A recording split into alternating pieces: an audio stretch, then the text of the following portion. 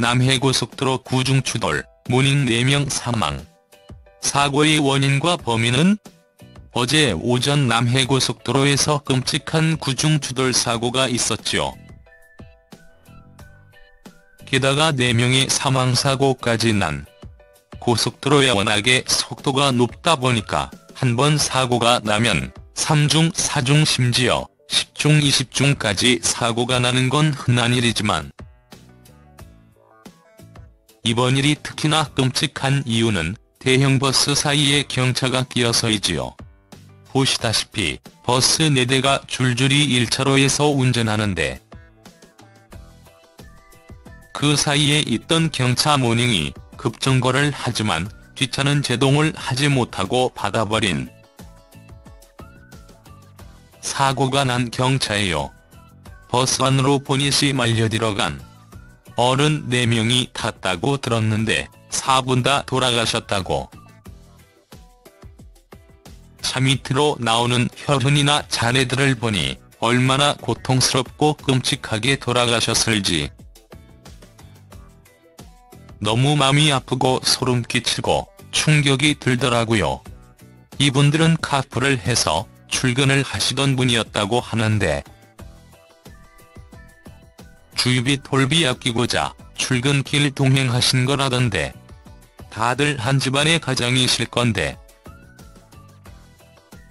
왜 이런 안타까운 일이 생긴 건지 문제의 그 고속버스, 관광버스는 학생들이 탄 차이였는데요. 양산의 중학교에서 수련회를 가는 차량이었다고 합니다. 오전 9시 50분쯤 남해고속도로 순천 방면 창원 1터널에서 난 사고. 저도 창원 터널을 자주 운전해서 다니고 경차를 타는지라 더더욱 남의 일 같지 않은 것 같기도 합니다. 4명의 사망자가 나기도 했지만 중학생들도 무려 36명이나 다쳤다고 하죠. 경남 고성 수련원으로 즐겁게 가던 길에 이런 사고를 당했으니 학생들의 트라우마도 상당할 듯합니다. 터널 안에서 사고가 난 터라 다들 걸어서 터널 밖으로 대피했는데요. 얼마나 무섭고 놀랬을까요? 물론 돌아가신 모닝 운전자 4분이 제일 안타깝지만요. 이런 거 보면 진짜 차고가 낮은 승용차, 특히 경차가 제일 위험한 듯해요. 물론 볼보나 벤츠 할아버지가 와도 대형 트럭, 트레일러, 관광버스 사이에서 개인은 사고를 당하면 똑같습니다. 사고 경위를 좀 더 자세히 파악해보자면 터널 내부에서 정체 구간이 생기고 이를 본 첫 번째 버스가 급정거 두 번째에 있던 소렌토 비상등 켜면서 멈춤. 그 뒤 차량들 못 멈춤. 처음에 경찰이 발표할 때 여성 소렌토 운전자가 급정거에서 구중 추돌이 일어났다는 식으로 발표를 해서 소렌토 운전자 차주분은 김 여사라고 욕도 많이 먹었는데요. 알고 보니 소렌토 앞 관광버스가 먼저 급제동을 했다고 하더라고요.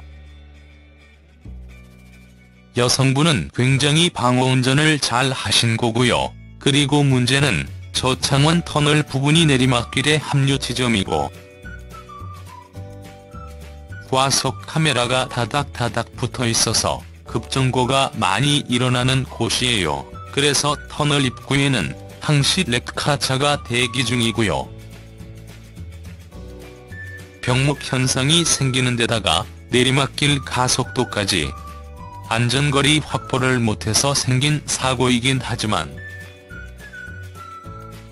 구조상 사고가 잦을 수밖에 없는 위험 구간. 느린 화면으로 다시 보기. 내 차고보다 높은 차량 뒤만 따라가면 안 될 듯합니다. 물론 따라가는 게 죄는 아니지만 내 목숨은 내가 지켜야 하기에 게다가 저렇게 큰 차는 시야 확보도 안 되거든요. 내 차 앞차의 앞차를 보는 게 방어운전이기에 참 이런 거 보면 다시 한번 다짐하게 됩니다.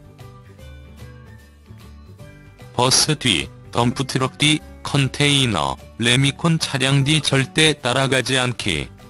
버스와 버스 사이로 차선 변경 안 하기.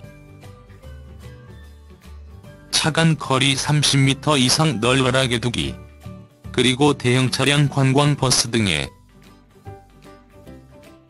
1차선 대열 주행을 못하게 하고 강력하게 단속해야 할 듯 합니다.